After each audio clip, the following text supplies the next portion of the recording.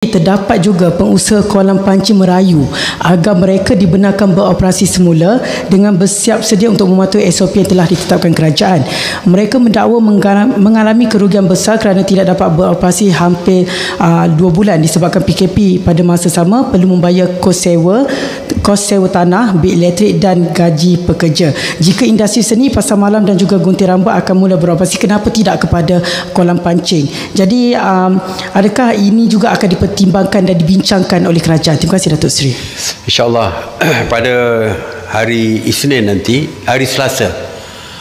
Hari Selasa nanti kita akan membincangkan lebih banyak sektor-sektor yang akan kita berikan kebenaran. Seperti saya katakan bahawa kita secara berperingkat memberikan kelonggaran ini. Ha, jadi salah satunya adalah aktiviti pancing di kolam.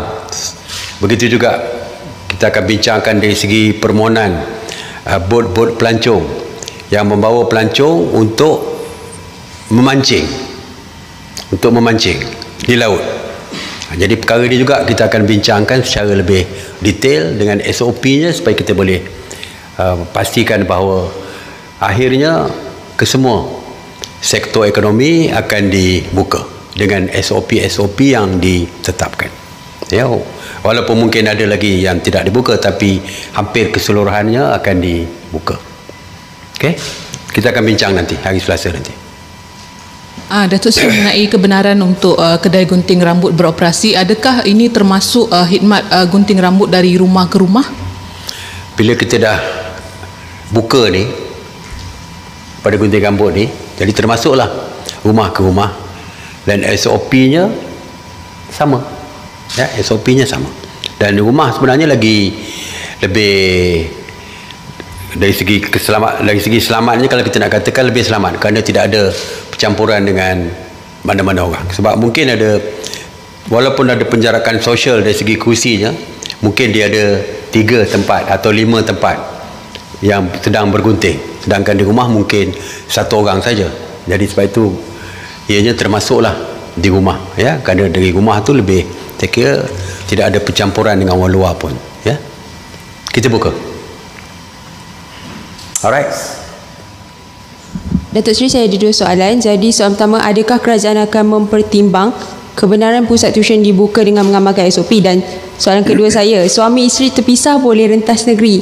Bujang nak berkahwin pun boleh jadi ramai dah tertunggu-tunggu Datuk Seri. Apa berita gembira untuk orang bujang merentas negeri? Jumpa keluarga. Okey.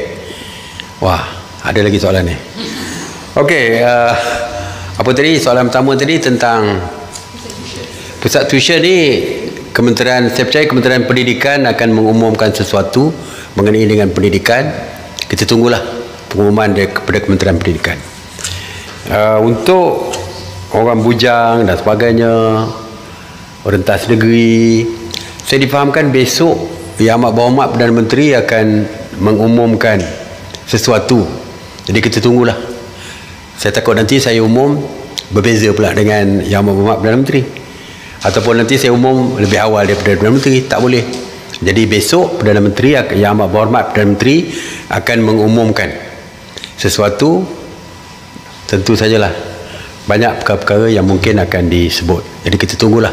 Lepas itu kalau tak sebut baru saya sebut. Okey, untuk orang-orang bujang bersabar sehingga besok.